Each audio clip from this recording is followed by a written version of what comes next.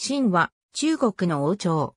前漢の外籍であった王毛が前漢最後の皇太子の樹子英より禅譲を受けて建てた。聖帝の時期、王毛は神都公に封じられたことにより国号を神とした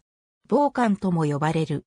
州の時代を理想とした政策を行ったが、その理想主義、復古主義的な政策は当時の実情にあっておらず、国内は混乱した。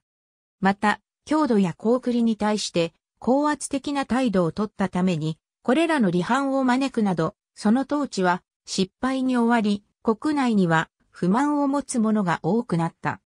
具体的な政策としては、古代の名称に合わせた地名や役職名の頻繁な改名、伊賀制の導入による小作農民のための農地の国有化、奴隷売買の禁止、氷菓子に対し国家による安い金利での融資などを行った。これについては、地主や氷菓子等から反発があった。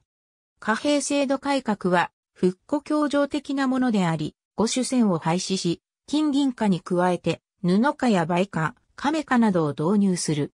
この平成改革によって制度が複雑になったため、経済が混乱し、渡し線鋳造を認めるまでになった。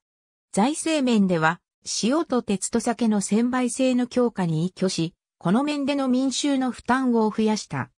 また、諸公王を公に、作法国王を公に格下げしたことで、後者の諸国は反発し作法から離脱する。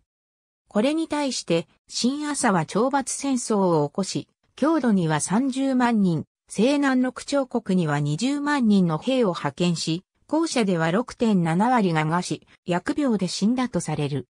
やがて、赤尾、緑林の乱が起こり、皇子帝の軍により、長安を落とされて王毛は殺され、一代限りで滅んだ。ありがとうございます。